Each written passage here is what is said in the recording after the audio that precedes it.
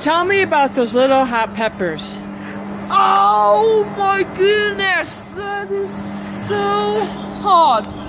Just a little piece it can make us very very hard. And well, how do you call that pepper in Chinese? Uh, 啊、小雀辣。